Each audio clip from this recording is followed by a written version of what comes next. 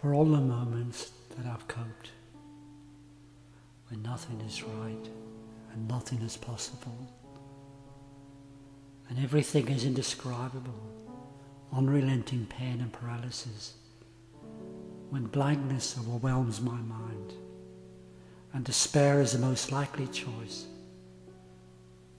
Yet somehow I get through.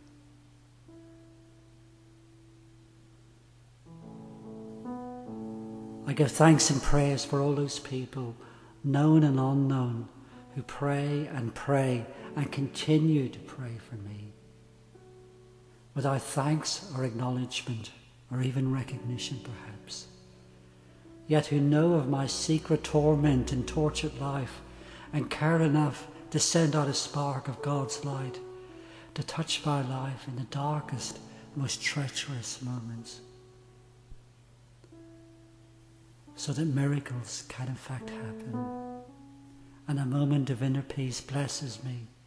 Despite the profound impact of this illness, I give thanks for you all.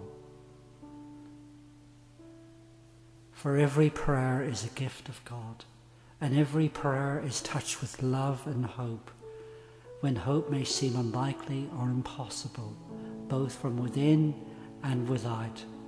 Yet God can enter into the bleakest place with prayer and mercy and touch and heal and bless in untold ways.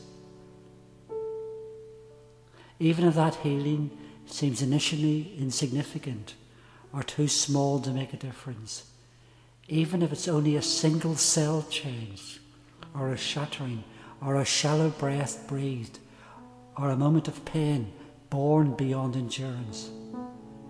Still, it can build into a bigger picture, a blessed life lived in tremendous suffering still here.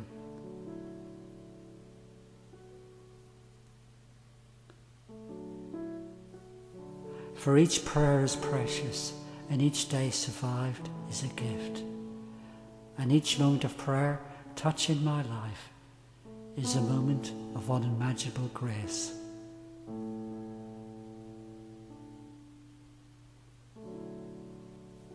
Amen.